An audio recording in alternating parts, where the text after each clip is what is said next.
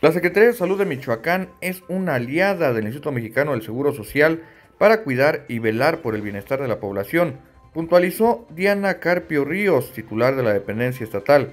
Lo anterior tuvo lugar al asistir con la representación del gobernador Silvano Aureoles Conejo a la toma de posesión de la nueva titular de la Oficina de Representación Social del IMSS, María Luisa Rodea Pimentel. Ahí Carpio Ríos afirmó que la instrucción del mandatario michoacano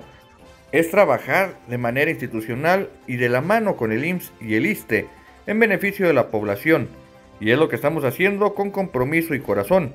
Reiteró por igual la disposición de seguir laborando de manera coordinada en temas de relevancia para el cuidado de la salud y que demandan la participación conjunta de las instituciones, como es la vigilancia epidemiológica, la vacunación, la prevención de la mortalidad materna, coadyuvando así con el IMSS bienestar en la atención de la población sin seguridad social,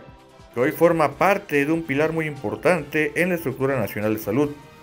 Soy una secretaria de salud de 24 horas y siempre estoy dispuesta a dar pasos adelante en pro de la salud.